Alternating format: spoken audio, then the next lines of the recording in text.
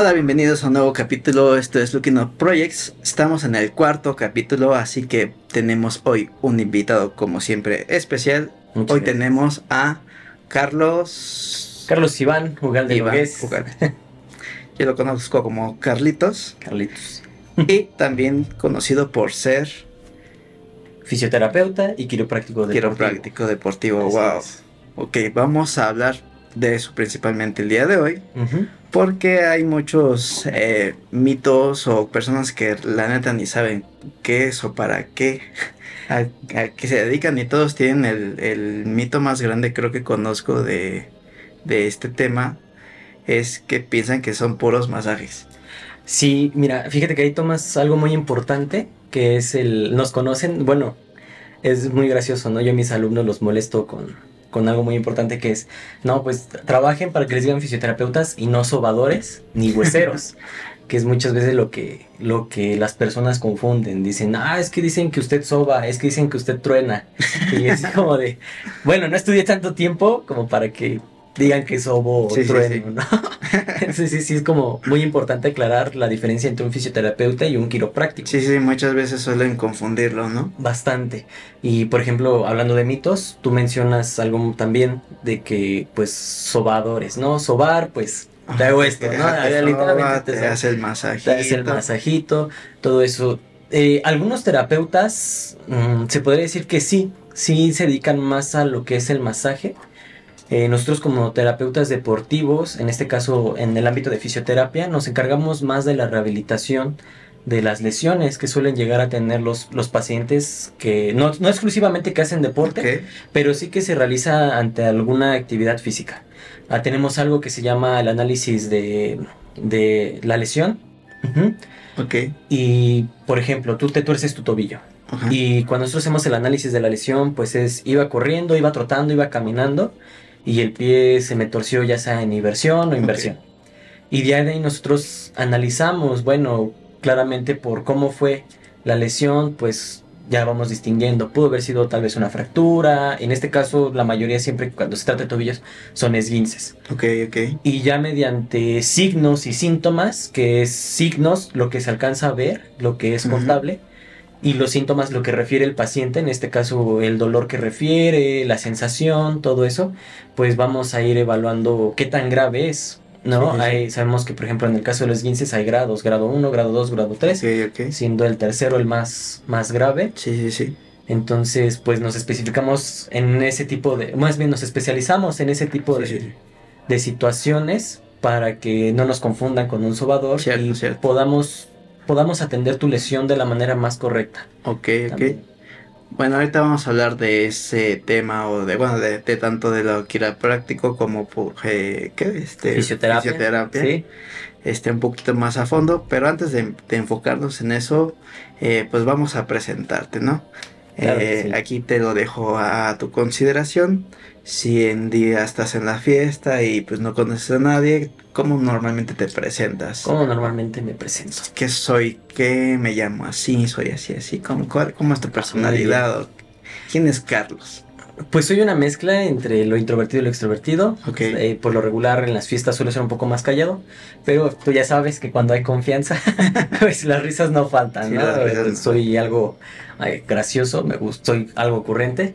Sí, Y- vaya que sí. Pues me presento por mi nombre, claro, Carlos Iván. Eh, siempre me preguntan, ¿cuál te gusta más, Carlos Iván? Y es como de el que gustes. Realmente siempre me han llamado por mis dos nombres. Eh, pues ya sabes, en la escuela, pues nos conocimos igual por unas presentaciones, por amigos en común. En este caso fue Ale, nuestra, Ajá, nuestra Alejandra, si recuerdan el capítulo pasado, pues vayan a verlo si no lo han visto. Saludos Alejandra, ahora yo a ti. Ya estamos.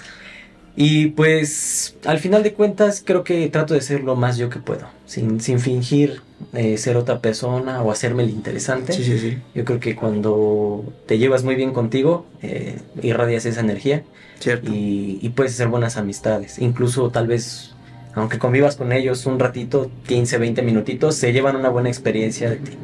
Entonces, yo creo que cierto. sería una persona agradable de conocer. Y en algunos ya eh, otros aspectos, pues obviamente voy a tener cosas como todos que tal vez no le agraden a las personas, Cierto. pero en un principio procuro ser lo más lo más agradable y amigable que se pueda. Sí, sí, ser, como dices tú mismo, ser auténtico, ¿no? Auténtico, sí, exactamente. Muy bien, muy bien. Y sí, normalmente la gente que es auténtica, pues le llega a caer bien a, la mayoría de las personas, ¿no? Personas. Como dices, va a haber sus excepciones, pero pues pasa, ¿no? Y pues contemos un poquito de esa historia, ¿no? De nos conocimos en la eh, universidad. Eh, cuando entramos a lo que fue licenciatura en idiomas. idiomas. Y pues no duraste tanto como, esperábamos. Exactamente. Y pues vámonos para allá. Vamos a, a, hablar sobre eso. ¿Cuál, fue el ¿Cuál es el secreto? ¿Cuál es esa obscura historia de por qué te saliste de la carrera y cómo fue que después terminaste ahora con lo que ahora estás especializado? Ah, muy bien. Una historia un poco larga.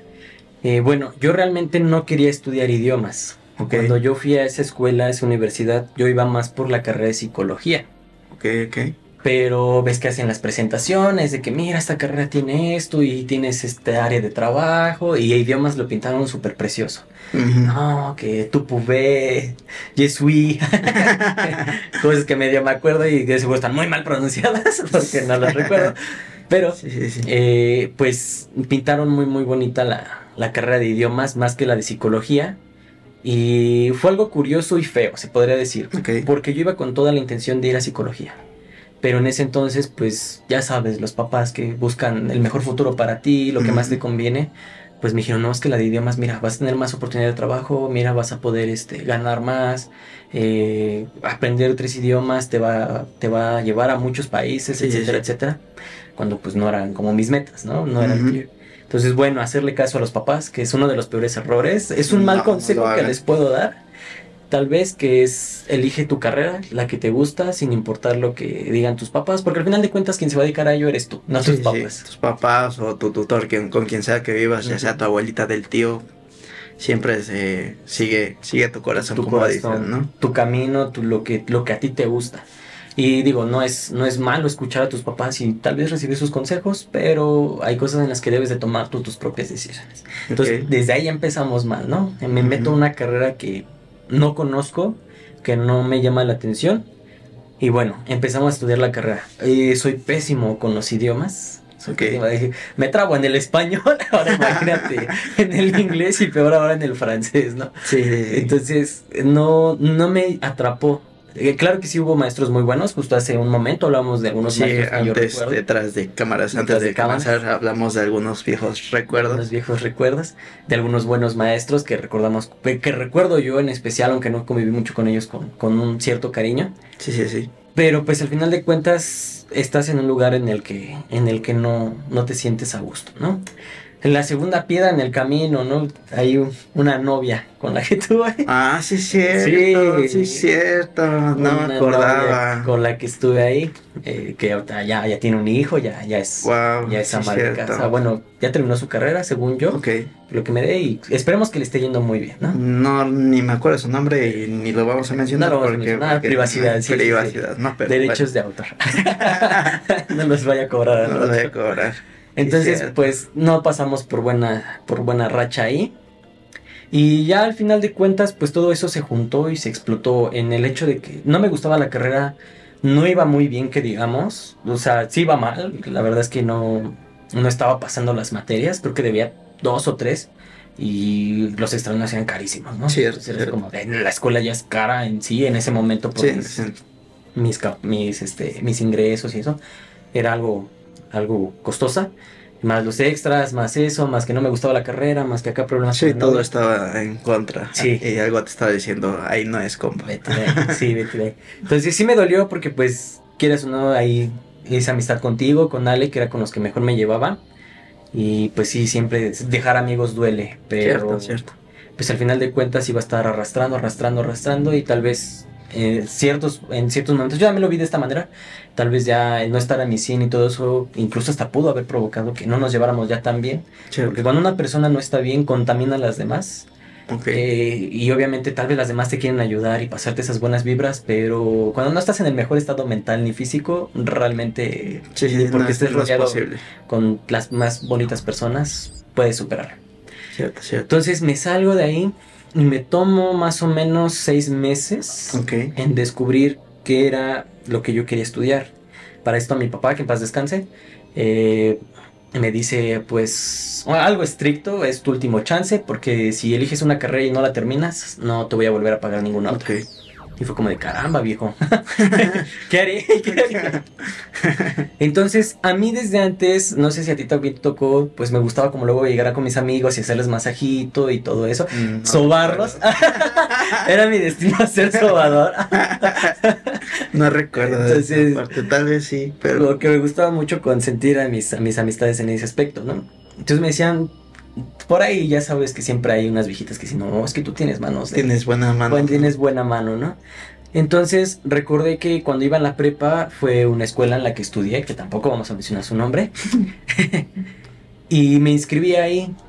Y fue curioso, ahí te va. Yo me enamoré de la carrera desde el primer día porque la primera clase que tuve fue psicología. Ok. Entonces desde ahí ya vas tirando de que, ah, ok, si era tu destino cierta parte como esta área médica. Exactamente, estar en un área de la salud más que en otro tipo, ¿no? Entonces empezamos con la clase de, psicología, eh, estudiamos varios aspectos, posturas, eh, incluso un poco de la letra, de cómo escriben las personas y qué quiere decir de ellas. Eh, las posturas me refiero a cuando se paran, personas que tienen, por ejemplo, un, se puede decir que una mentalidad muy distinta o más bien cuando no están de ánimos. Es lo que andaba buscando. Cuando están de ánimos por lo regular, pues están encorvados, jorobados, como les dicen, por lo regular. Y, muy, muy hacia abajo por lo regular. No, obviamente también va a depender de otros factores. También puedes estar cansado. No es específicamente de que no estés en tu 100, pero sí, por ejemplo, de que estés cansado, estresado. Hay muchos, muchos aspectos. Entonces, todo eso a mí me, me empezó a llamar la atención. Ahí van pasando las clases. Eh, yo soy un amante de la anatomía, de todo lo que tiene que ver con el cuerpo humano. Entonces, en esas clases, pues era aprender bastante de los huesos, de los músculos, el sistema nervioso, el cerebro. Y el, y el saber cómo funciona el cuerpo eh, me, me, atrajo, me atrapó totalmente. Y yo me sentía espectacular, ¿no? Eh, entonces me empezó a ir mucho mejor. Entonces, a diferencia de la carrera de idiomas, aquí llevaba puro 9, puro 10, puro 8. Entonces, iba saliendo súper bien, súper bien. Los maestros me, tenían una gran estima porque veían mi, mi pasión hacia... interés, ¿no? mi interés, mi pasión hacia la carrera. Y pues muchas veces, eh, al final de cuentas, yo era de los mejorcitos. Y, también eso causó problemas. También eso llegó a causar problemas porque pues la envidia no. Sí, sí, siempre hay envidias en todos lados. Entonces es muy chistoso. Yo en ese entonces tenía 19, 18 años. Yo creo que más, o menos, por esa edad. Actualmente tengo 25. Entonces, pues lo que hablábamos también hace rato, luego las personas mayores como que cuando un joven sabe más que ellos, eh, sienten que, que pues algo no está bien. Entonces hubo un momento en el que a mí me decían, es que nunca entrega tareas. ¿Cómo no voy a entregar tareas? O sea, si soy el primero en llegar a entregarlas, soy el primero en, exámenes, era los el primero en terminarlos. Entonces también ahí hubo como que esos problemas y pues la dirección me dejó un trabajo muy difícil, que si no recuerdo eran las 44 zonas de Broadman, ahorita creo que son más. ¿Nos podrías explicar más o menos qué es eso? Son partes del cerebro que se involucran mucho también a lo que es parte del lenguaje. Ok, ok. Parte del lenguaje y otras funciones. Entonces, era un trabajo un tanto completo eh, y complejo. Y lo terminé en el tiempo estimado y lo entregué. Y bueno, ya ahí se dieron cuenta los directores que realmente lo que hablaban de mí eran, eran rumores, ¿no? De que no entregaba. Y aparte, pues los maestros, como te decía, me tenían una estima, en una estima muy alta. Tenías tu backup, tu alguien que te Exactamente. Se te olvidan las palabras. es que a veces pasa. Sí, ya, ya cuando sabes más idiomas no sabes sí, fue lo que comentamos en, el podcast pasado que uno que es de idiomas de repente se te se te traban, las, lenguas. Entonces, pues se dieron cuenta de ahí y de ahí me gané incluso un poquito más del respeto de mis profesores.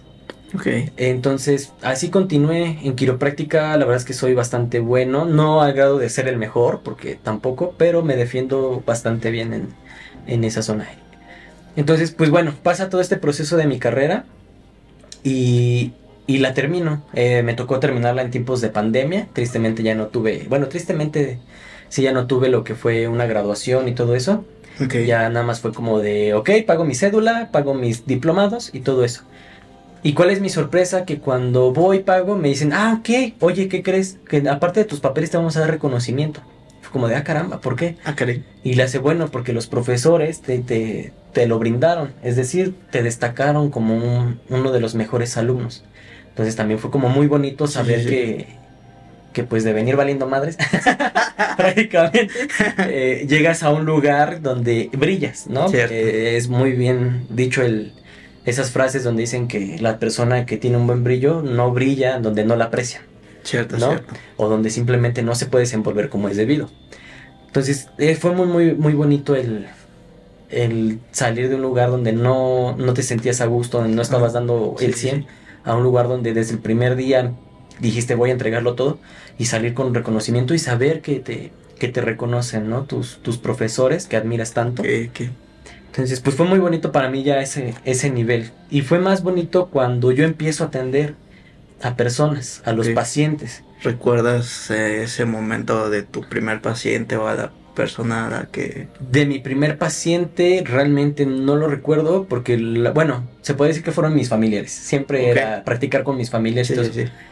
Pero sí recuerdo de mi primera paciente que me dio las gracias por quitarle sus dolores ya de espalda muy fuertes y ayudarla a recuperar movilidad. Era una persona que sí de plano llegó muy encorvada, ya llegaba muy lastimada y fue unas tres, cuatro sesiones en las que incluso el ánimo le cambió. Eh, hay un dicho muy bonito que es que dicen que es un doctor salva las vidas o salva vidas, pero un terapeuta ayuda a vivirlas. Entonces tiene bastante sentido porque sí, muchas veces ya los pacientes, el dolor es muy horrible, ya sea psicológico o físico, es demasiado horrible, te impide eh, ser tú mismo, te impide ser dependiente, que es lo que más les pega a los pacientes. Entonces el ser dependientes de, de, un ser querido los hace sentir como una carga. Cierto, cierto. Entonces cuando tú les quitas esa sensación de que ya no, ya no, ya no tienen que ser una carga, porque al final de cuentas yo creo que un familiar eso no es una carga, pero muchas veces también las personas tienen, tienen sus propios problemas y su paciencia. Sí, depende a veces mucho de, la familia, ¿no? Hay personas a las que pues es familia y pues no te pesa, pero hay personas o familias que no son tan unidas y, Ajá. y pasa, y, pasa. Y lo reclaman, reprochan, ¿no? Entonces, tú cuando ya les, les regresas esa individualidad, esa capacidad de, de valerse por sí mismos, es muy, muy bonito muy, muy, muy bonito. Entonces, sí, esa sensación sí la recuerdo, todavía la, la llego a sentir cuando atiendo a pacientes. Y pues ahora que soy docente, también eh, se ve reflejado mucho en mis alumnos de que cuando algo te apasiona, los, los imbuyes de esa misma, esa misma pasión y, les encanta. Tuve también el caso de, de un alumno que cuando llegué lo odié. O sea, de plano me caía muy mal. Era verlo y estaba dormido eh, no ponía atención, eh, era un desastre, totalmente. Sí, sí. Entonces dije, ah, lo voy a tener que tener más en, en friega. Sí. Y curiosamente resultó ser muy bueno en quiropráctica. Al estarlo motivando, al estar hablando con él, a estarlo chingue y chingue de que estudiara, de que trabajara, resultó ser muy bueno en quiropráctica. Yo diría que incluso de los mejorcitos de su grupo. Entonces también esa sensación de ver a un alumno que no tiene esas ganas y después eh, motivarlo tanto que te resulta ser uno de los mejores en algo, también es muy, muy gratificante. Claro, claro, es muy gratificante esa parte de que, pues, quieres que no también cambias su vida, ¿no? Y creas un, un, gran impacto en él. Y pues la marca que deja uno en, en sus alumnos a veces es, es muy grande, ¿no? Sí, sí, yo digo que influyes bastante. Tú cuando representas una, una autoridad o o un, margen de enseñanza, eh, representas todo eso, sí influyes bastante en sus pensamientos también. Era un poco depresivo, un poco no valgo tanto, como mucho autodesprecio. Acá cuando le empieza a enseñar su valor que tiene, lo inteligente que es, porque muchas personas son demasiado inteligentes, pero están suprimidas por X y razón externa. Entonces los empiezas, les empieza a sacar brillo. los empiezas a pulir. Se dan cuenta de lo que valen y cambian mucho su actitud y cuando los ves no los reconoces. Ya no los reconoces.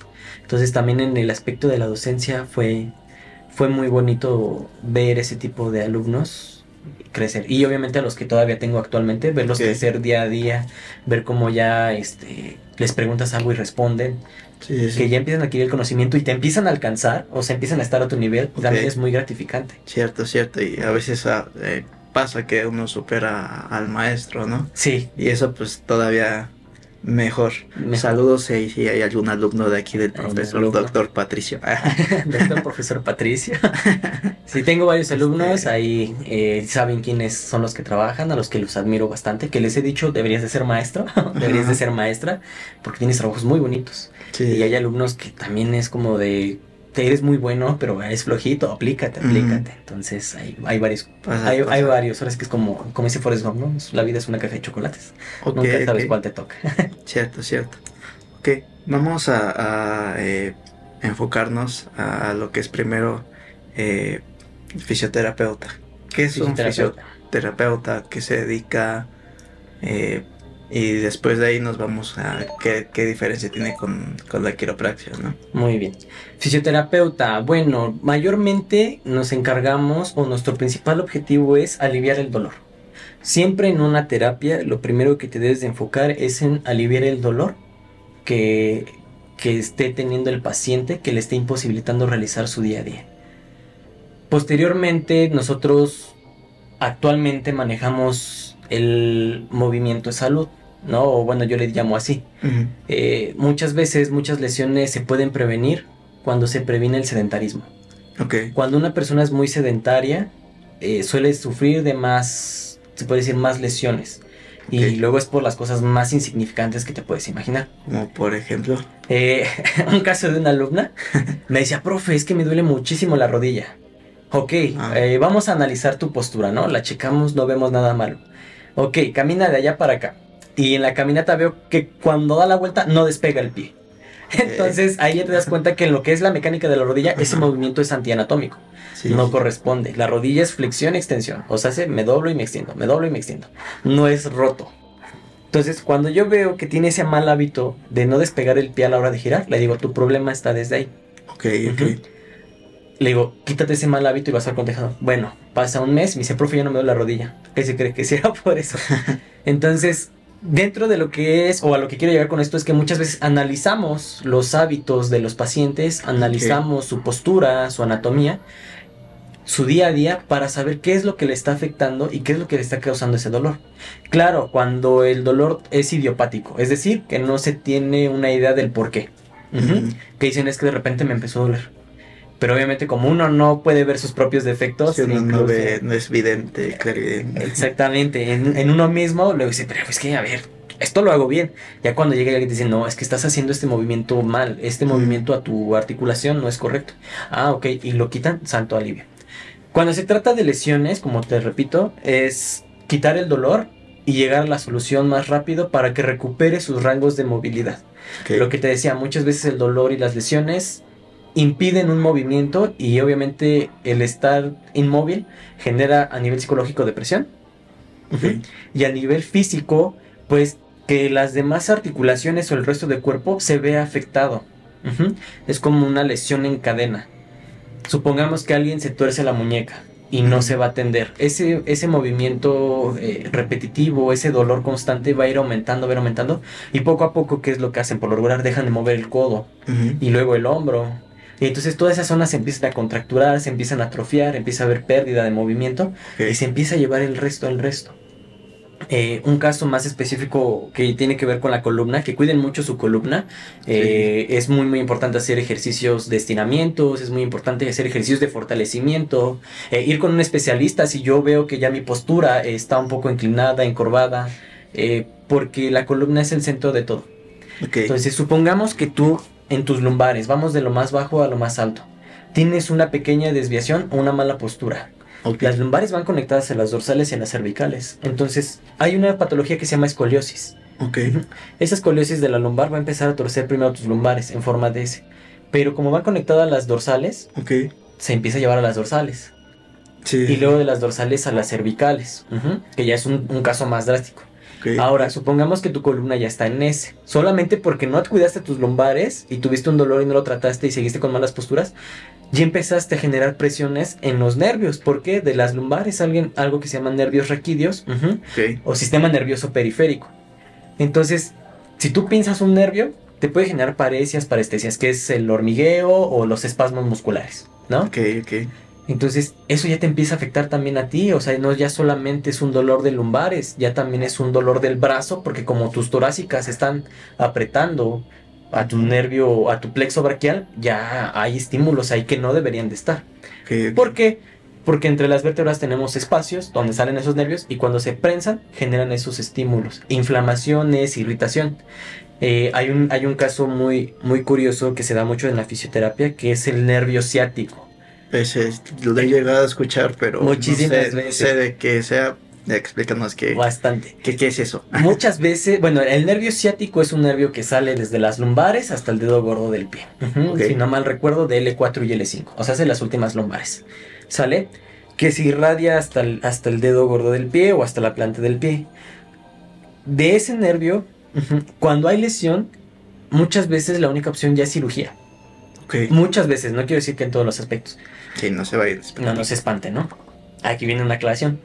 Muchas veces van al doctor, híjoles, ¿qué se cree, doctor? Tengo un dolor desde el glúteo hasta, hasta hueco popitlio o parte trasera de la rodilla, ¿no? Es que es ciática. Porque muchas veces. Ay, ciática. Sí, ay, mi ciática, ¿no? Y luego así como de no, o sea, ya después llegan bien espantados los, los pacientes con un terapeuta. Es que el doctor me dijo que es ciática. Es que no, ya no va a caminar, doctor, ayúdame, ya siento que me estoy enfriando, ¿no? Y casi, casi un drama total de no. Estoy viendo a mamá Coco. Estoy viendo a mamá Coco y, y a Valentín Elizalde.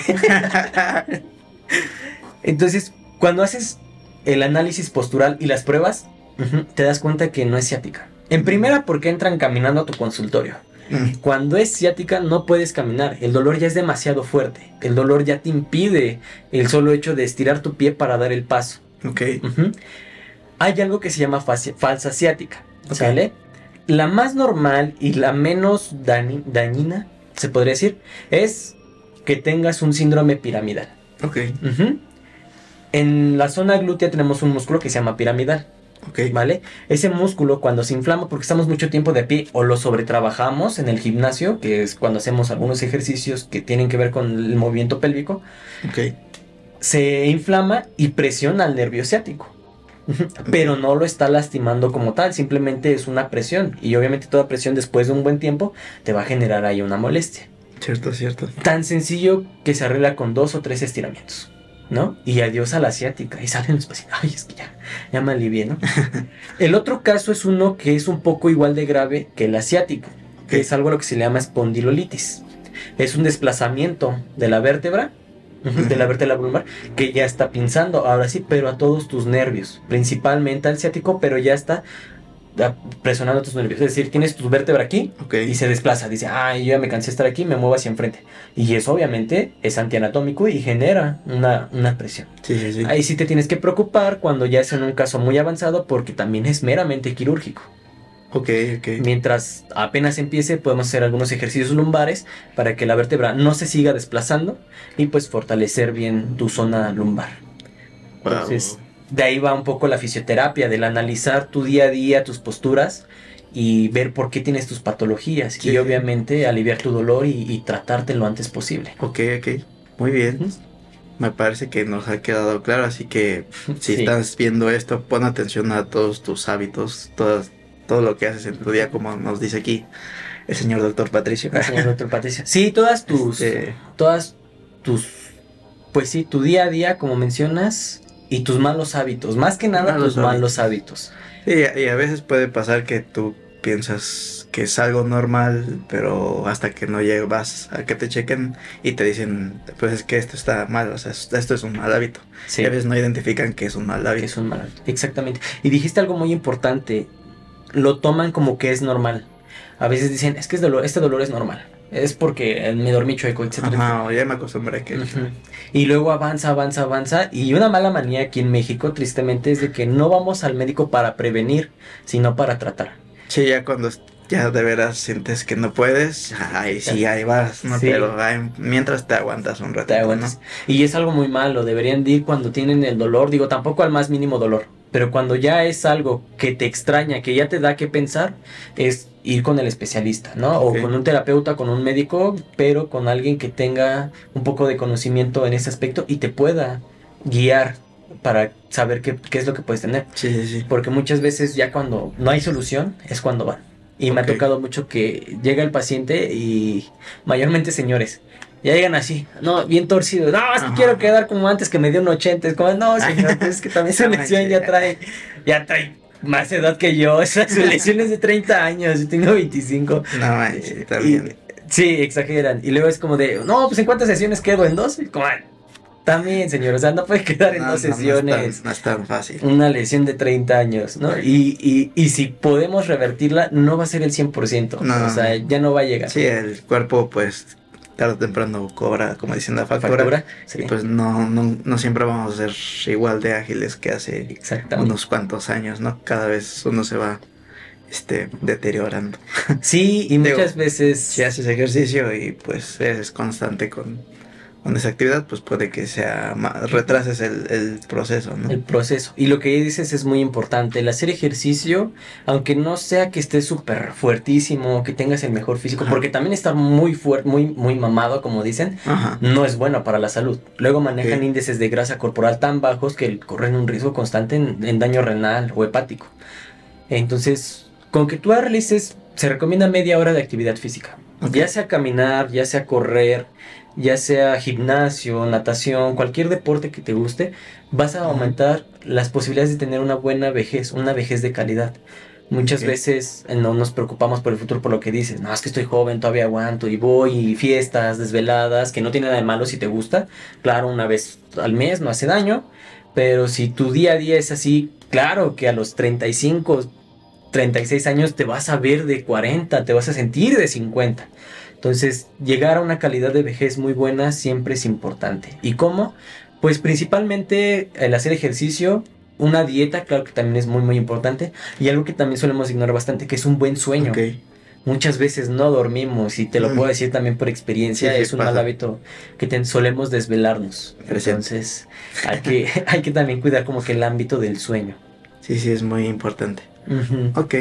Vamos a hacer una pequeña pausa, solamente por precaución vamos a ver que siga grabando la cámara.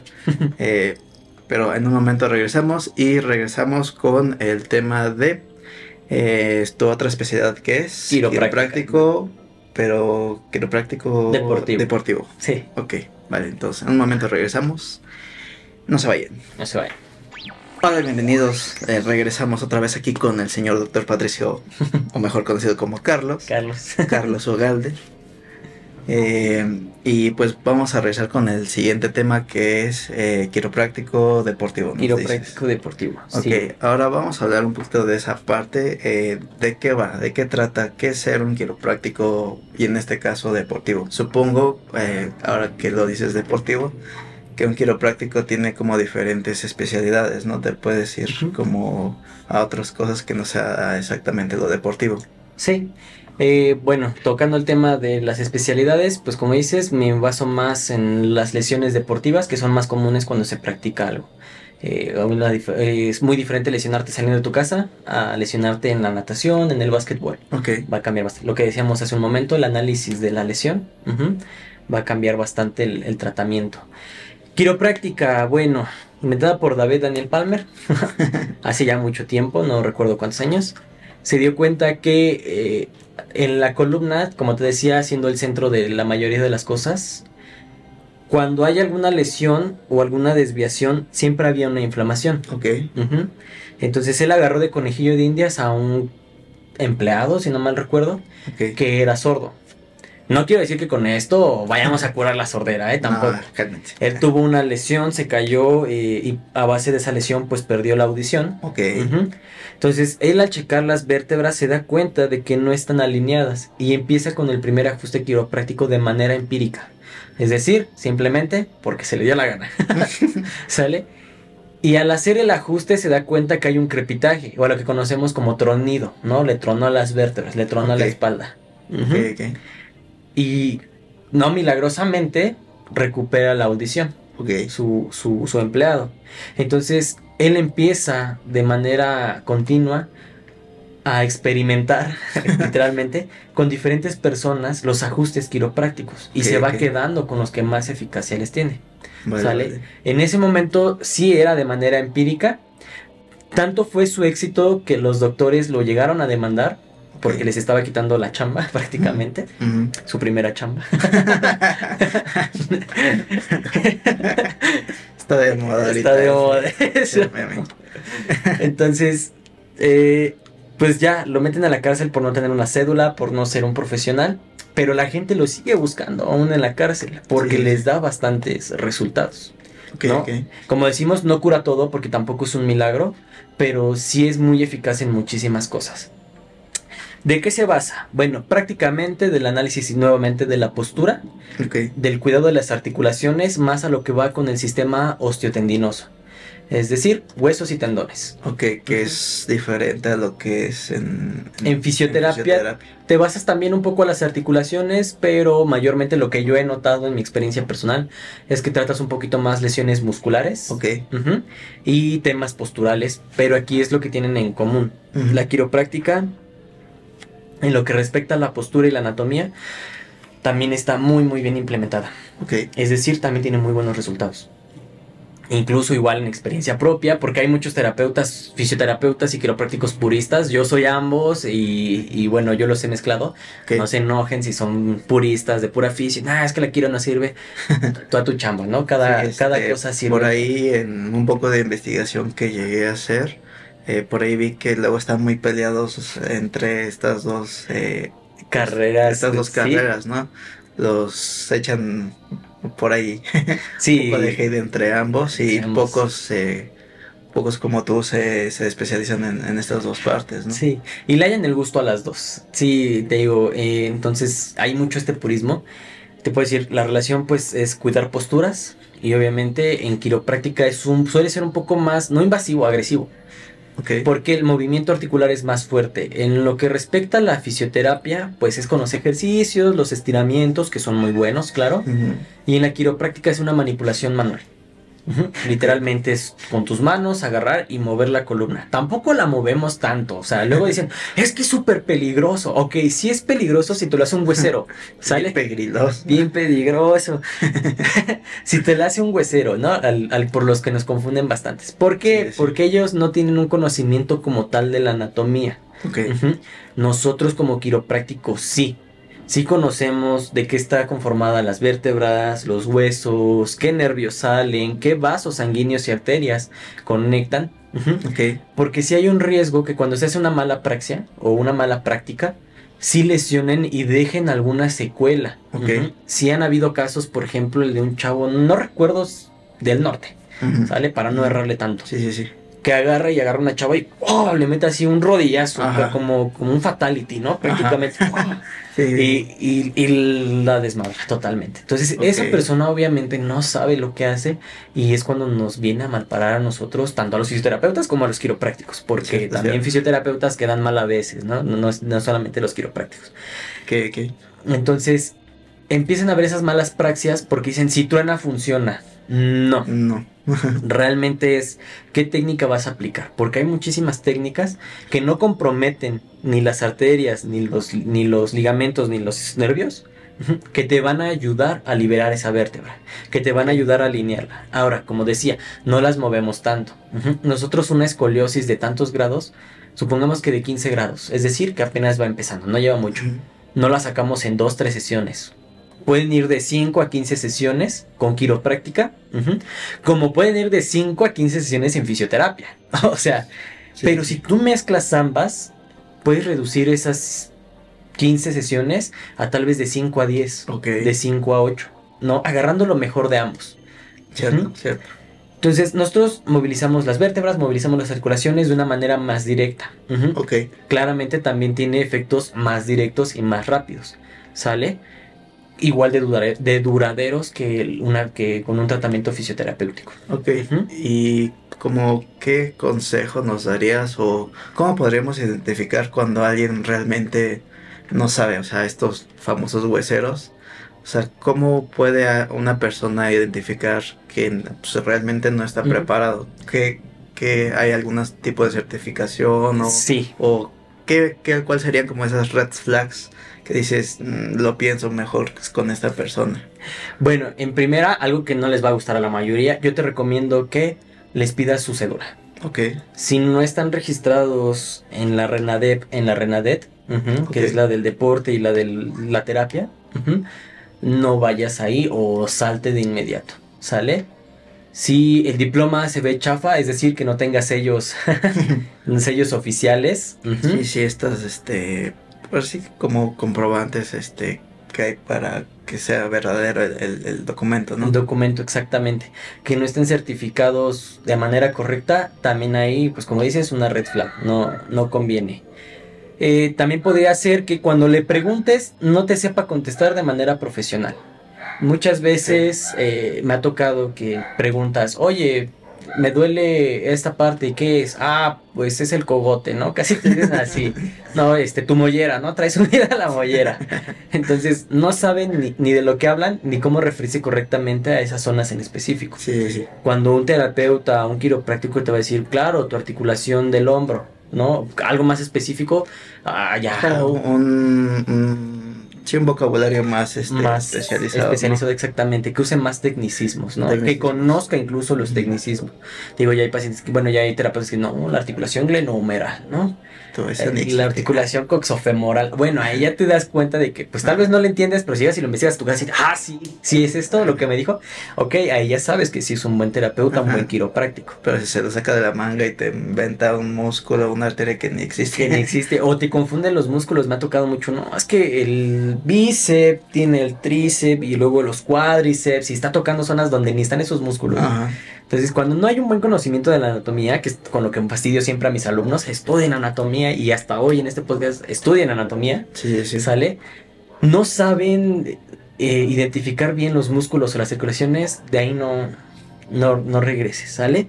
En cuestión a terapias, es algo también muy importante que es saber si aplican bien una terapia. Por ejemplo, ahorita tenemos aquí lo que es un electrodo. Un electrodo. Sí, sí. Eh, por cierto, aquí le pedí de favor que nos trajera algunos de sus eh, instrumentos, herramientas que utiliza en, en su área de trabajo para que nos explique para qué es. Un poco. Entonces, por ejemplo, una red flag cuando te traten con, con terapias de aparatos y así, por ejemplo, en este caso, la electroterapia. ¿Sale? Algo que a muchos les ha pasado y es, eh, la electroterapia tiene diferentes ramas que pueden ser diferentes eh, frecuencias, ¿no? TENS, EMS, interferenciales, rusas, este, de choque, microfrecuencias, etcétera, etcétera, etcétera. Pero hay una manera muy específica en aplicarla. Incluso tenemos una tablita donde viene cuántos hertz sirve para qué cosa. Es decir, 80 hertz, eh, un ejemplo así muy vago, ¿no? Te va a ayudar a los músculos. 90 hertz te va a ayudar a dolores este, agudos, etcétera, etcétera. Manejamos lo que son los microsegundos o los milisegundos. Los joules, las rampas de acción, ¿sale? Todo eso. Y muchas veces, cuando quieres darte cuenta también de un mal terapeuta es, si te va a poner electrodos, si te dice esta frase que es muy común de ellos, okay. hasta donde aguante. y le sube y le sube y te estás aguante como, como si fueran los de las ferias. ¿no? Sí, sí con la máquina de toques. ya llegas al 10, sí, sí, ya estás bien tenso, ¿no? Con barra y cardíaco, oh, ya entraste en paz. y ellos, todavía aguanta. Entonces, desde el momento en el que ellos te dicen esa frase, que es la más común que dicen, tú sabes que no debes regresar ahí. Porque nada más lo pone por poner. Nada más lo pone porque ve que el músculo tiene contracciones. Claro que va a tener contracciones, es electricidad. ¿Sale? Pero no lo está efectuando de una manera correcta. Ok, ok. Entonces, como consejo también sería ese. Como consejo para los terapeutas, siempre explíquenle a sus pacientes qué le están aplicando, a qué frecuencia. Aunque no te entiendan, aunque ellos piensen que le estás hablando en chino, siempre es mejor explicarles para que cuando ellos tengan ganas de investigar, investiguen y tengan esa confianza de, ok, lo que investigué sí concuerda con lo que me dijo mi terapeuta. Entonces sé que es de confianza. Que expliquen qué, para qué, cómo, eh, qué beneficio te va a dar. Y al final creo que eso te da más credibilidad y te da tal vez un poco más de... ¿Cómo decirlo? O sea, te pueden llegar a recomendar, ¿no? Pues sí. dices, dicen esta persona sabe lo que está haciendo, te recomiendo que vayas con él porque te va a explicar de paso a paso qué es lo que se hace, ¿no? Y para qué. Exactamente. Sí, y otra bandera verde se podría decir que es muy bueno, signos vitales. Los signos vitales siempre son una medida del estado de salud del paciente. Checamos lo que es frecuencia respiratoria, oxígeno en sangre, ritmo cardíaco o sí, bueno, el ritmo cardíaco como tal, la tensión arterial.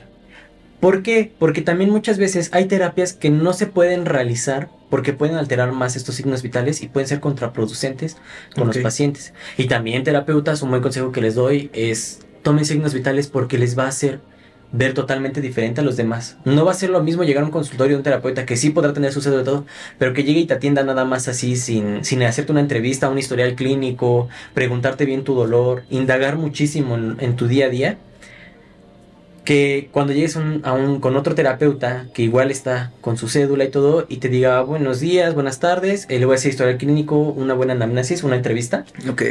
Signos vitales para saber si el paciente trae hipertensión, hipotensión, ¿no? Bradicardias, taquicardias. Saber si está en el mejor estado físico y le podemos hacer esas terapias. Porque muchas veces también pasa que aplican ciertas terapias, pero como no checaron signos vitales, híjole, ese signo vital estaba alterado y es una contraindicación de esa terapia, por eso se te puso malo, por eso se mareó el paciente, por eso al llegar a la casa sintió que se desmayaba. Entonces también es, es, una, red, una red flag el que no tome signos vitales y una green flag.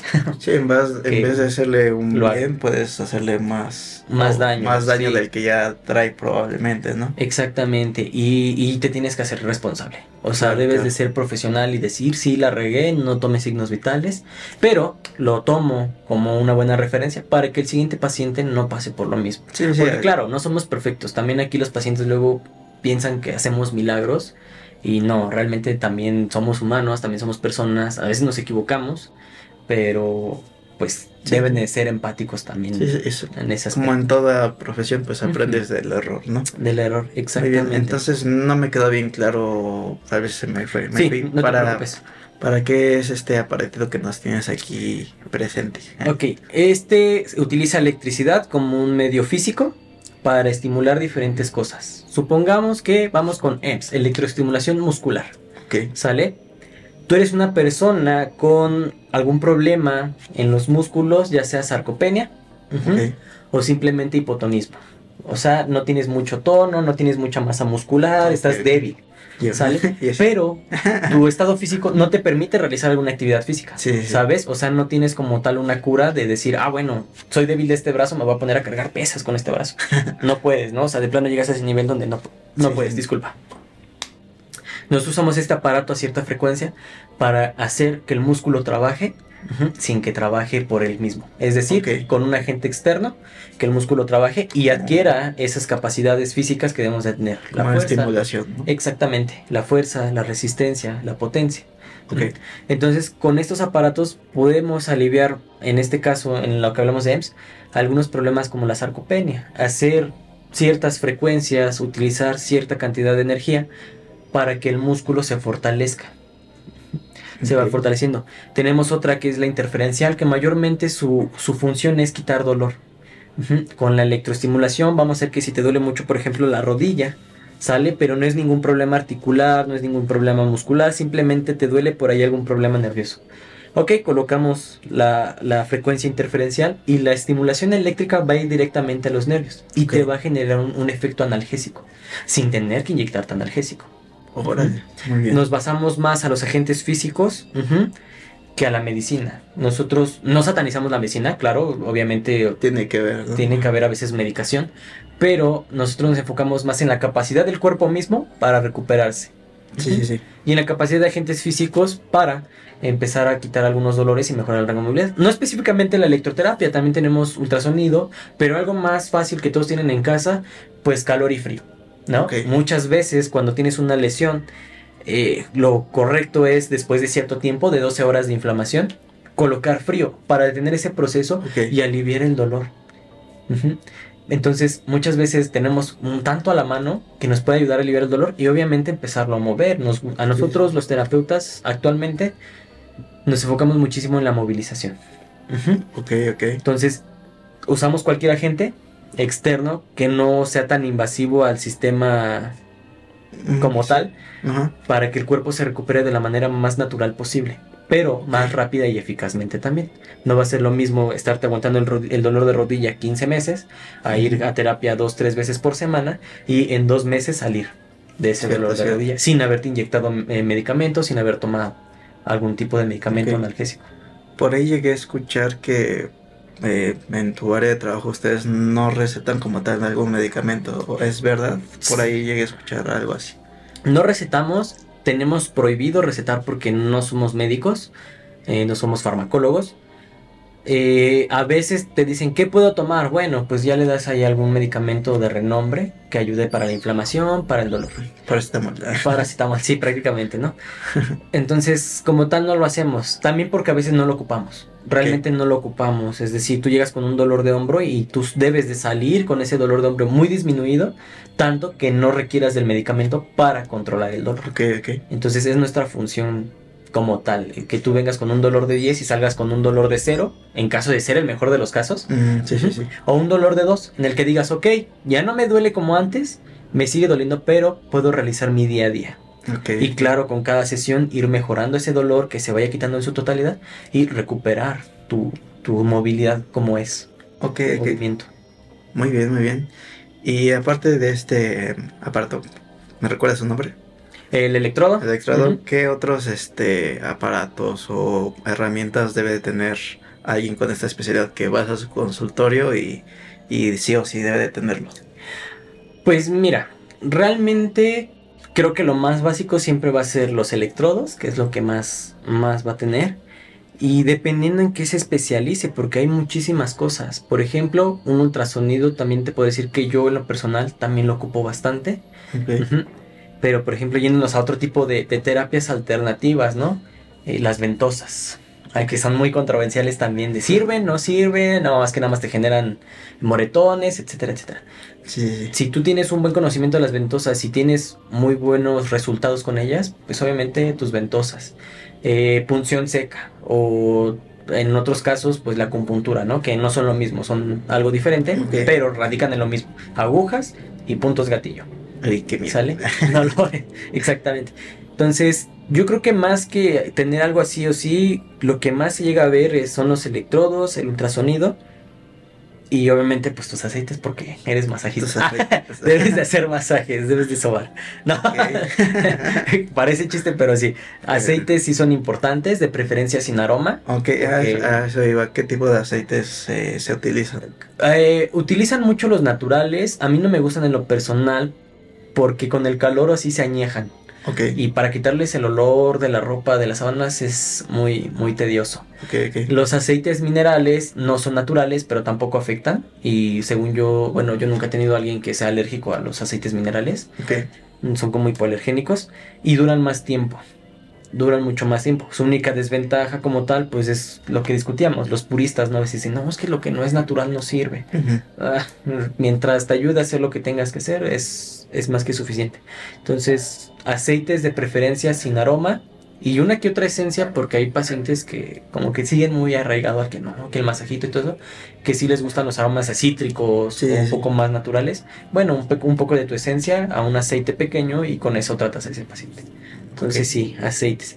Y de ahí en fuera, pues lo que más te acostumbres, las técnicas que más sepas. Por ejemplo, yo soy mucho de utilizar electrodos, ultrasonido, ventosas, punción seca, eh, vendaje kinesiológico, vendajes normales como las de algodón, vendaje funcional.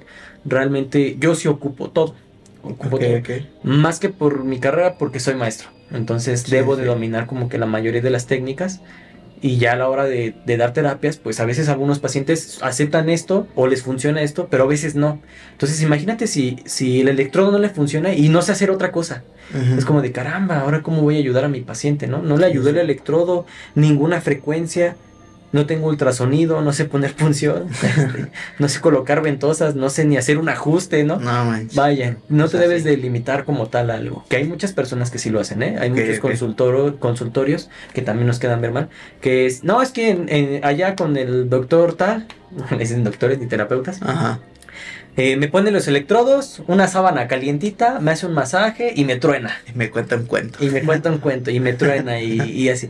Y te das cuenta que siempre que escuchas que vienen de, ese tipo de personas, su terapia es para lo mismo. Fui por un dolor de rodilla, pero me puso electrodos, me hizo masaje y me tronó. Fui por un dolor de tobillo, pero me puso electrodos, ah, me hizo masaje y me tronó. y es como de, ¿y ya que hora te atendió el pie, no? Ah, sí, me puso ahí una venda. Entonces, también ahí son mañosos, lo hacen como para sacar dinero, no, no lo hacen ya por la salud del paciente. Sí, sí, como siempre en, todos los trabajos hay gente que no es auténtica, como habíamos dicho, eh, y pues, uh, pues improvisa. Sí, exactamente. Y se casan con algo. Te digo, ellos ya están casados con que masaje, electrodos y tronarlos. Masaje. Y con eso viven y se vuelve hasta monótono su rutina. Te digo, yo soy un poco más versátil y incluso un poco extraño, que espero que no sea tan extraño, que sí haya muchos terapeutas que lo apliquen, pero soy mucho de invitar a mis pacientes a iniciar una vida activa. Ok. Es decir, señor, yo sé que tiene problemas de rodilla, de cadera, pero le voy a decir cuál es su problema. No fue su lesión, ¿sabe? Fue su obesidad, su sobrepeso. Somos de los primeros países con obesidad y sobrepeso. Cierto, cierto. Y de los más comelones porque en nuestra cultura tenemos comida muy deliciosa, muy sana también, pero a veces le exageramos a lo que es muy rico, pero no es tan sano.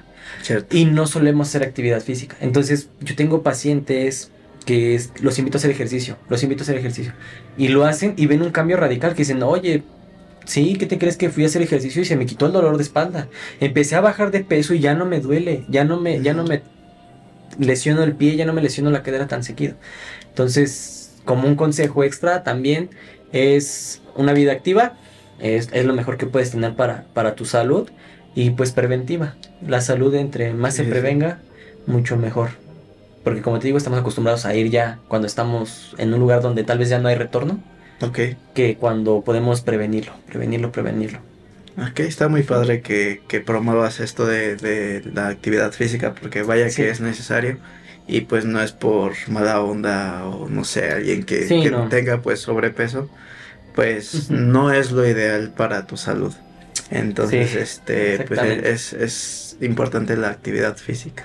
Sí, que claro, igual si tienen su mentalidad, que ahorita está surgiendo mucho que el body positive y eso, pues mira, al final de cuentas, eres tú, es tu cuerpo, si es tu decisión, yo también estoy en contra de los que se burlan de, de la situación física, porque también muchas veces no es porque no hagan ejercicio o todo eso, también muchas veces tiene que ver con lo psicológico. Sí, sí. Que a veces están deprimidos, a veces eh, tienen muchos problemas y no se concentran y pues caen en un ciclo, ¿sale? Sí, sí. lo importante es amarte a ti mismo, pero cuidarte también es muy, muy importante. Entonces... Sí, es parte de... Hay que llegar a un nivel donde me amo y me acepto, pero también donde sé cuando ya no estoy en un nivel sano y debo de empezarme a cuidar. Cierto, cierto. Eh, es, es, es, muy importante y téngalo presente. Téngalo muy presente, sí. Ok, muy bien.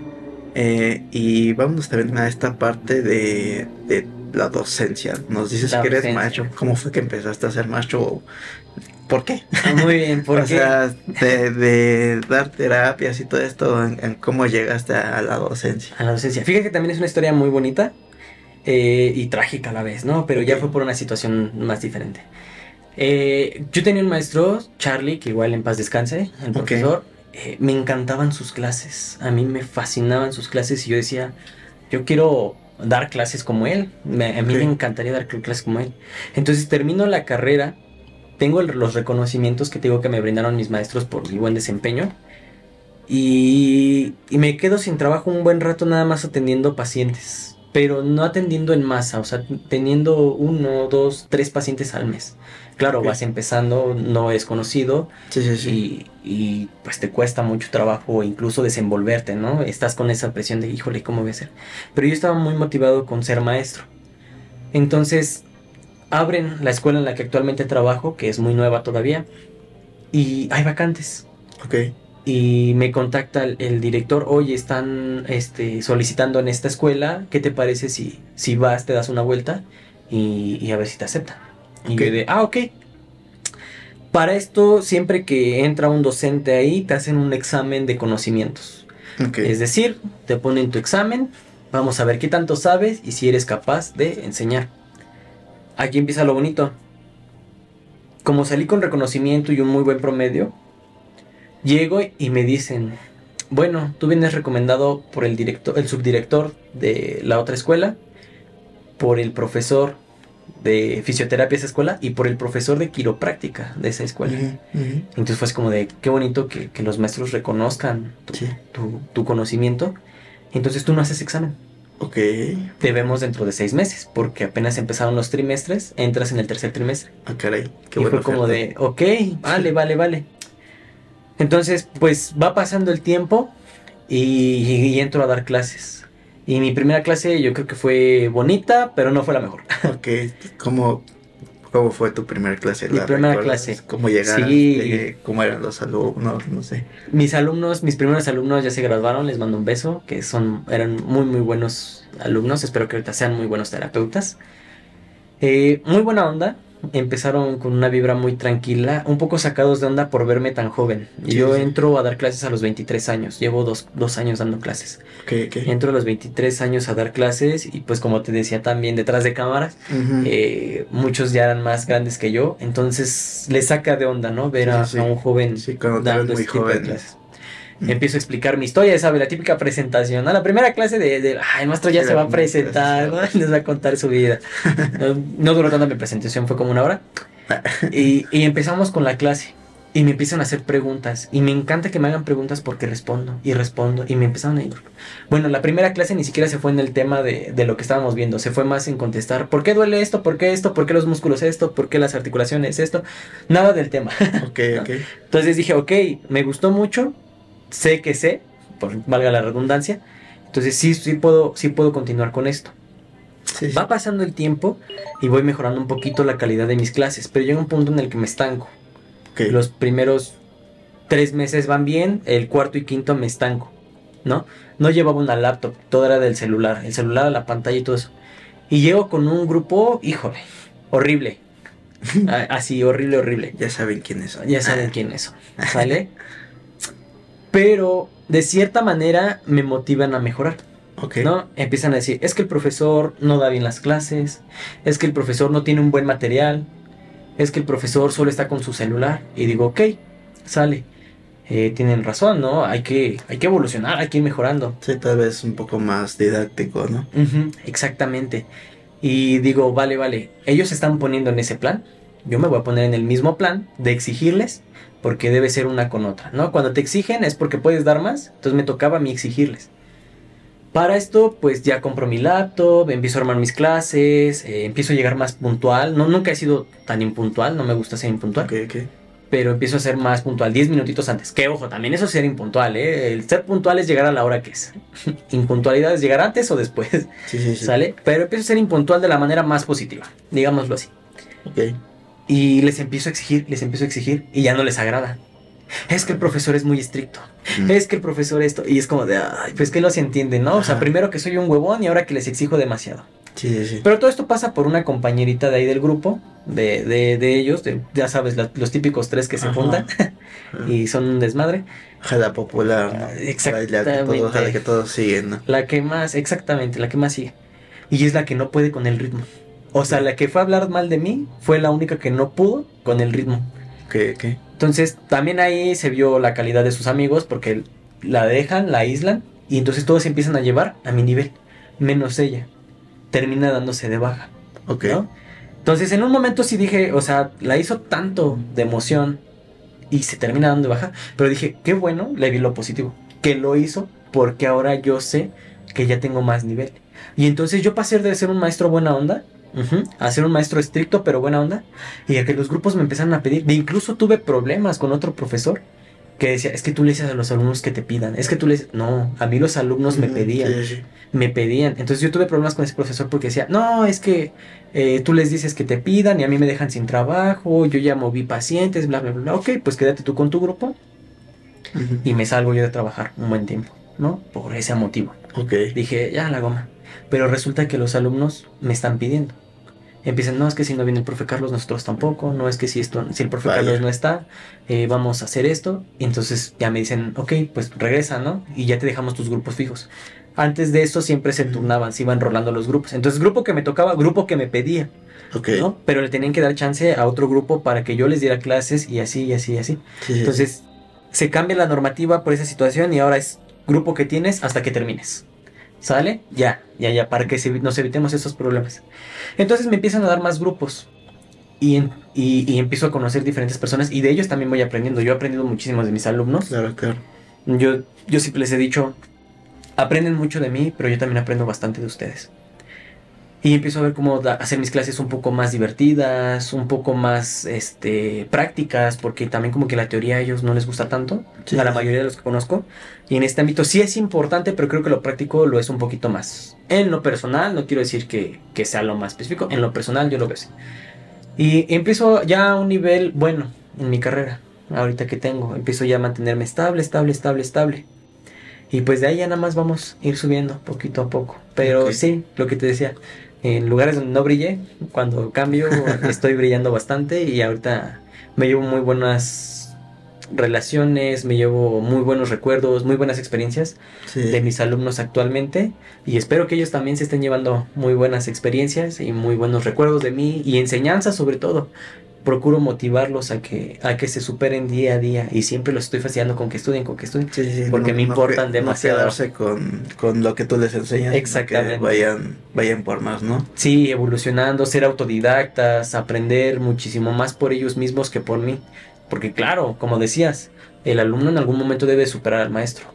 y yo quisiera que todos mis alumnos me superaran y que después ellos me enseñen a mí, sería lo mejor, porque sería haber alcanzado el máximo nivel de mi, de mi carrera en ese momento, que sea que yo siendo docente y siendo terapeuta esté creando mejores terapeutas y si alguien se quiere dedicar a la docencia de mis alumnos, estar generando mejores docentes. Cierto, cierto. Sí, eh, es, es, muy gratificante esta parte de, como ya comentamos, crear eh, pues esta conciencia y dejar algo eh, importante en tus alumnos se agradece mucho esa parte cuando tienes un maestro que realmente pues se interesa en, tu educación, ¿no? Sí. está, está muy padre y esperemos que así sea. Y, y, me alegra escuchar toda, esa, toda esta historia de pues cómo cambió todo tan radical desde que te conocí. Sí. Y lo lejos que has llegado, ¿no? Gracias. Este está, está muy padre esa parte y pues, pues, qué orgullo tenerte todavía de, de amigo, ¿no? Y decir que, que pues hoy hoy brillas más que, que antes. Que antes, sí, como te digo, era, era un caos la otra, la otra parte, pero creo que, como dicen, no lo bonito de tocar fondos que ya después ya nada más es subir. Nada más es subir. Pero pues al final de cuentas, también la carrera de idiomas es muy bonita. Sí la extrañé en su momento porque sí también le veía muchísimas oportunidades. Pero es como esos amores imposibles que nada más ves una vez. pues es muy bonita, pero no es para mí. pasa, pasa, pasa. Sí. Sí, sí, mm, por último, bueno, casi ya el último, todavía nos queda un poquito de tiempo. Sí. Eh, ¿Podrías eh, tal vez contarnos alguna anécdota de algún paciente o algún alumno que te haya marcado mucho? Tal vez algún paciente que te haya costado mucho trabajo, tal vez tratarlo, o algún alumno, no sé, algo que nos quieras contar. Pues de mis alumnos te puedo decir que me han marcado bastante la mayoría, eh, principalmente los que se dedican a veces yo veo sus apuntes y se va a escuchar feo, ya también se los he dicho. Veo quién sí, quién no. y, y, sí, sí, sí tenemos alumnos favoritos. Ah, eso de que no, no sí, sí, los hay. Quien te presta más atención y te transmiten mejor energía, claro que van a ser tus favoritos, pero también me preocupo por los que de plano no la arman. Eh, tengo un, un, alumno, no, así es su nombre, yo creo que se va a dar cuenta. este, nunca lleva material. Nunca lleva material. Entonces, luego es así que está nada más viendo qué hacen los demás. No sé si has visto el video de un señor que según está ayudando a los demás, pero nada más le hace así. Ah, sí. Y, no ayuda. Así estaba, ¿no? Entonces le digo, ya vete por tu material, ponte a trabajar, ponte a chambear, ¿no? Eh, le, digo, descansas como si chambearas. Entonces, pues poco a poco ya empieza a ir a agarrar su, su ritmo. Y te das cuenta que ya después cuando hace la práctica, la técnica, es muy bueno. O sea, parece que no está poniendo atención, pero es muy bueno. Y de esos me ha tocado bastantes. De esos que ves sus apuntes y con faltas de ortografía y sin sin buen este sin bonita letra, sus esquemas todos feos y todo eso, pero ya cuando los ves en la práctica te sorprenden. Es como de, ay, es muy muy bueno en esta situación. Te contaba el, lo de mi alumno, que fue el que también más me marcó, el que llegaba muy deprimido, muy triste y resultó ser uno de los mejores en, quiropráctica. Él es alguien que me ha marcado porque eh, ya yendo un poquito más fuera de lo profesional, pues de cierta manera también me llegué a identificar un poco con él, porque pasamos más o menos por lo mismo, de una pérdida de un familiar. Y pues ver que se superara y que de pasar, que te digo, de estarse durmiendo a clases a, a ser uno, un buen quiropráctico, pues te motiva bastante, te motiva bastante. Y pacientes, pues la mayoría de mis pacientes me han motivado porque son dedicados. Claro, sí, siempre vas a tener un paciente que le dices, hace esto, esto y esto. Ah, sí. Sí. Claro. y llegan, ¿cómo lo hiciste? No lo hice. Y es como de, ¿por qué? Se me olvidó. Exactamente. Y es como de, pues nos vamos a tardar más en tu terapia. Y le sí, que tú sabes que nada más van a regalarte su dinero, porque ni siquiera se van a curar, ¿no? Y tengo pacientes, una paciente de la mención de su nombre, Mónica, que es una paciente muy increíble, es una de mis mejores pacientes que he tenido, que yo le decía, Moni, es que hace esto y esto, y caramba, ha, sido, ha evolucionado tanto que se metió a estudiar nutrición. Eh, creo que tiene su cédula para ser maestra de natación incluso. Y es una persona muy, muy activa y demasiado inteligente. Demasiado, demasiado inteligente. Y yo la conocí nada más por un dolor de espalda y por algunos problemas de epilepsia que tenía, que ojo, aquí hay algo muy importante. Con la quiropráctica disminuyeron aún más sus, sus ausencias. Ella le llamaba ausencias. Entonces ella de repente sufría de esas ausencias, de que le quería dar pero no le daba. Entonces con la quiropráctica, chicos, con ajustes cervicales y dorsales, que son los que dicen, no, es que son malísimos. No, con la técnica correcta, redujimos ese, esa, esa patología. Vaya, no tenía idea que, que también puede servir para estas personas que sufren de, de epilepsia. Sí. Sí, entonces ella también es una paciente que me ha, me ha gustado mucho atender porque ha evolucionado bastante bien y es paciente que veo ya ahorita cada tres, cuatro meses porque su salud es muy buena. Su salud es muy buena porque salió de estar mal a estar mucho, mucho mejor. Entonces de ella también te puedo decir que me marcó bastante. Y claro, siempre te platican de su vida. Ay, disculpa. Sí, sí. Y, te, y te dejan una enseñanza. Porque pues igual son mayores, tienen mucha experiencia y vas tomando lo mejor de cada uno. Vas tomando lo mejor de cada paciente, de cada alumno, de cada compañero docente, de cada compañero fisioterapeuta, de cada compañero quiropráctico. Yo creo que siempre te vas a llevar algo bueno o positivo, siempre y cuando veas lo bueno o lo positivo. Cierto, cierto. Wow. Creo que, que, nos has dejado muchas enseñanzas valiosas el día de hoy. Muchas gracias. Este, pues no sé, estoy impresionado de, de, todo lo que nos cuentas. Gracias. O sea, se ve que pues sabes de lo que nos estás hablando que no eres un improvisado. como, improvisado. Como hay, hay algunas personas que pues, no soy nada, más, nada más soban así. que ojo, también es bueno que de repente pues esas personas te ayuden porque pues les das trabajo. Bueno. Les das trabajo. Pero si ya van para algo más serio, realmente sí busquen un especialista. Sí, sí busquen un especialista. Y pues es tu salud. Sí, alguien que no te sobe porque sí o que te truene. porque, truene, exactamente. Y cuidado más con los hueseros, que es, lo, como lo más delicado sería la quiropráctica, porque te digo, las técnicas son deben de ser limpias. Yo, por ejemplo, cuando les enseño quiropráctica a mis alumnos, dicen, es que se ve bien fácil, hago, es que sí es fácil, pero también llevo mucho tiempo haciéndolo, porque literalmente es de, movemos el cuello, lo acomodamos, esta posición es la correcta, y ellos están, es que, es que no puedo, es que no puedo. Y ahí yo te puedo decir que un mal hábito que tengo es que, a veces me estreso de que no lo hagan como yo, pero es algo que he tratado de cambiar porque sé que no lo van a hacer como yo, porque están aprendiendo. Sí, sí, sí. luego digo, es que es muy fácil, es que es muy fácil. Claro, lo que es fácil para ti, para ellos no lo es. Sí, sí, tal vez cada persona tiene como su técnica, no sé, por así decirlo, su maña, no sé, o sea, puede que sí, lo esté haciendo bien, pero de otra manera, ¿no? De otra manera, sí, se acomodan de otra manera. Fíjate que me he visto mucho en las técnicas que luego dicen, es que a mí me sale más fácil así. Y tú ves y cuando checas la, anatomía, las posiciones, dices, sí, lo está haciendo bien, no es tu técnica, pero está cumpliendo con lo que debe y no está comprometiendo ninguna arteria, ningún nervio, ningún vaso. Lo está haciendo de una manera correcta.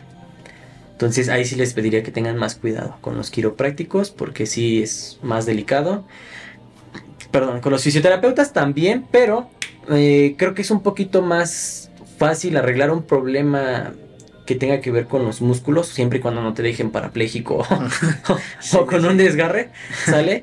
que un problema óseo que ya es cuando te lastiman la columna, las vértebras o incluso alguna articulación importante, ahí sí creo que es un poquito más delicado, mucho más delicado. Okay. Y pues como último consejo del día, también recuerden que si no tienen tiempo para la salud, lo van a tener para la enfermedad. Y si no lo van a tener para la enfermedad, un mensaje fuerte, muy, muy, muy fuerte, sus familiares lo van a tener para despedirse de ustedes. Entonces, cuiden su salud, cuiden su vida, eh, sean empáticos con sus familiares, sean empáticos con ustedes mismos, eh, hagan ejercicio, coman bien, duerman bien y pues sean felices sobre todo. Traten de no estresarse, traten de estresarse. Y hallarle lo bonito a lo que hagan. Tal vez ya estás muy harto de tu trabajo, pero busca el, el por qué el por qué sigues yendo. Un motivo. Y si no, pues busca otro motivo. También la vida dura muy poco como para que estés en un lugar donde no estés a gusto. cierto, cierto.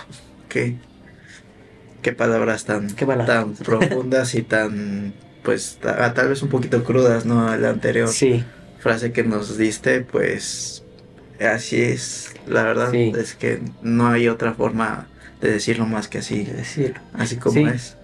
Sí, es que muchas personas, te digo, a veces la empatía nos falta bastante, que lo que les preocupa, te recuerdo, los pacientes es, es que me están cuidando. Ya no soy de independiente, ya soy, ya dependo de mi hijo, de mi, que ojo no está mal que cuiden a sus papás de vez en cuando, pero pues muchas veces se deprimen por eso. Entonces deben de ser empáticos también con ellos, tanto el enfermo con su cuidador como el cuidador con el enfermo, porque son posiciones totalmente diferentes, pero que tienen algo en igual, que es ayudarse. Es ayudarse mutuamente. Muy bien, muy bien. Ok, ya casi terminamos. Eh, eh, ya, ya duramos más, un poquito más de una hora. Se va el tiempo como, como agua de volada. Este, pues creo que eh, todos los que te conocemos, vuelvo a repetirse, estamos como muy orgullosos de ti. Gracias. En especial yo siento que más orgulloso y ya no está con nosotros, pues creo que es tu papá. Sí.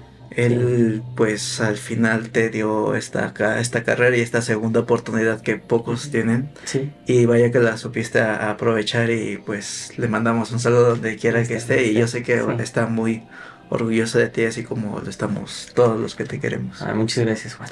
Pero por última pregunta que siempre la hago al final de cada capítulo tal vez en un tiempo difícil, tal vez en esta pérdida de tu papá o no sé, algún eh, otro momento que llegue a tu mente, ¿qué consejo, qué palabras de aliento le podrías dar a ese pequeño Carlitos que le pudieron haber servido en, ese momento tan, tan difícil? Tan difícil.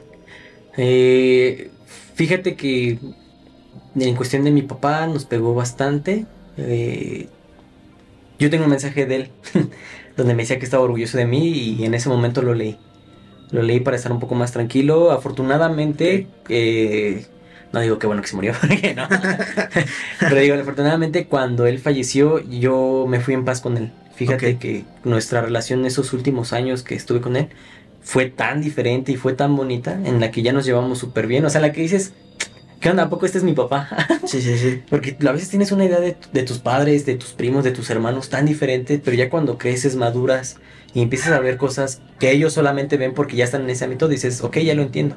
Y ellos ya empiezan a verte de otra manera. Yo creo que con él me fui muy tranquilo. Eh, me despedí muy bien de él, no hubo, no hubo algo de lo que me haya arrepentido. Te digo, leí mucho su mensaje pero para salir de una situación difícil, lo que yo les recomiendo es lo mismo que a mis pacientes que están enfermos, muévanse. Moverse siempre te va a traer energía. El, moverte, el salir de tu, de tu área, el simple hecho de decir, hoy no quiero estar en mi cuarto, voy a salir, voy a caminar, voy a ir a la tienda por unas papas. ¿Sale? Sí, sí, sí. El hecho de, salir de la rutina, del salir de, de eso, es muy, muy beneficioso. Yo sé que es muy difícil, yo sé que a veces no tienes ganas, no tienes fuerzas, pero mientras hay vida hay chance. Cierto, cierto. Mientras puedes respirar, mientras te puedas mover, mientras puedas pensar, muévete, muévete, muévete de la manera que sea. Eh, ahorita dicen mucho, por ejemplo, eh, el gimnasio es la nueva iglesia, ¿no? Ahí va algo chistoso. Ahí solo van los que se drogaban los que los dejó la novia y los que están deprimidos. sí. ¿No? Entonces es como la nueva iglesia. Pero tiene mucho que ver y es muy importante que ahorita yo algo que admiro y que estoy viendo mucho ahorita es la comunidad fitness, de ese, que salen de la depresión haciendo ejercicio. Cierto. Entonces, mi consejo es ese, muévete, muévete. Recuerda que en la naturaleza, en la vida y en, en general, el que no se mueve, se muere. Cierto, cierto. Que no se mueve, se muere. Entonces, moverte, salir de la rutina, busca ayuda. Yo sé que también es difícil aceptar que necesitas ayuda. Eh, en el ámbito de la psicología también me da mucho gusto que ahorita ya esté como que pesando más esa carrera, aunque no soy psicólogo, que la gente ya se está preocupando un poquito más por su salud mental. Eh, hay personas que no, que también los entiendo, que a veces caemos en una negación horrible, pero acepta, acepta que a veces necesitas ayuda, a veces que, que no puedes hacerlo tú, todo tú solo, y acepta que, que a veces alguien te tiene que decir en lo que estás mal, porque como decíamos hace rato, luego muchas veces no lo vemos. Estamos tan acostumbrados a vernos al espejo que ya no vemos las imperfecciones que tenemos. Cierto, cierto. Entonces, sí, mi consejo sería ese, moverse, aceptarse, eh, no parar, no parar, no parar, no parar, siempre buscar mejorar. Y si caes, pues ni modo, te toca levantarte. Cierto, cierto. Digo, mientras haya vida, hay chance, mientras te puedas mover, puedes hacer muchísimas cosas. Muchísimas, muchísimas cosas. Muy bien, muy bien. Sí, es importante, recalcamos, pues, cuidarte tanto física como, como mentalmente. mentalmente. ¿no? Es, es muy importante. Y tal vez esta necesidad de ir al psicólogo, no sé, llega a mi mente el pensamiento de, no sé si tenga que ver por eh, recientes eventos de pandemia que hubo. Puede que se haya aumentado un poquito más eh, esta parte de de que haya pues más enfermedades tanto físicas como mentales porque pues literalmente se encerró la gente y pues ya no había actividad física o ya no era tanto como antes y, y, pues te encierras o sea no sí exactamente. te, deprimes. Te deprimes y cayó también mucho las relaciones porque también es cuando sales de tu zona de confort es muy difícil adaptarte y aceptar lo que hay a tu alrededor eh, muchas veces estaban acostumbrados muchas parejas eh, a, bueno, ya me voy a trabajar, yo también, eh, nos vemos al rato. Llegaban, cenaban, se dormían y repetían. Y llega este confinamiento y, ahora todos todo el tiempo en la casa. Y ya empiezas a ver las cosas que no te gustaban de tu pareja. Porque como no lo veías en todo el día, ahorita ya la estás viendo y es como, no, es que no recoges tus calcetas, no, es que no lavas los calzones en la regadera, no, es que... Y empiezan a ver. Entonces muchas veces también por eso pasó. Pero pues cualquier cambio siempre va a ser para bien. Y es muy, muy importante saber que los cambios siempre son, siempre son. Sí, siempre va a haber cambios. Siempre va a haber cambios, siempre vas a tener que adaptarte. Y pues si tienen pareja, pues apóyense entre ustedes. Si son solteros, pues no pasa nada. También es, importante la soltería. Eh, pero apóyense, apóyense, apóyense. También no estamos solos en este mundo. Siempre tenemos amigos, tenemos familiares, tenemos hermanos. Los que tienen papás, pues papás. ¿Sale? No estamos solos en este mundo. Entonces puedes apoyarte a veces de ellos para que, para que puedas salir de, pues de la depresión, que es lo que está pegando más ahorita en, en estas fechas. Y si no, pues simplemente despabilate. Sí, sí, sí. Despabilate, busca hacer otra cosa, salir de la rutina. Muy bien, muy bien. Pues llegamos ya ahora sí al, final, de, este, este capítulo. Eh, creo Estoy muy seguro, eh, sin dudarlo, que tenemos muchos temas todavía más por hablar. Esto que hablamos el día de hoy, a, pesar de que fue un poco más de una hora, siento que no, no es el tiempo suficiente para hablar de, pues, de tanto, tanto conocimiento que tienes. Gracias. Eh, y esperamos tenerte una vez más eh, aquí en, en, este programa para una segunda parte. Como siempre, los invitamos a dejar sus comentarios, sus, preguntas, sus, preguntas. Estaría muy bien. Estaría muy bien. Eh, aquí las vamos a contestar con, con, mucho gusto, tal vez no yo, puede que yo le pregunte, oye, me, me dijeron, ¿qué es esto? ¿Qué es esto? ¿Qué es esto? Este, y pues ya más o menos resolverles su duda, o sea, para más específico, pues si tienes duda mejor vayan con él. y pues aquí viene pues eh, la parte del comercial que pues vamos a, preguntarte dónde te pueden encontrar, cuáles son tus redes sociales, eh, si alguien pues necesita de tus servicios que yo estoy súper apuntado en un futuro, espero pronto ya nada más que haya dinero.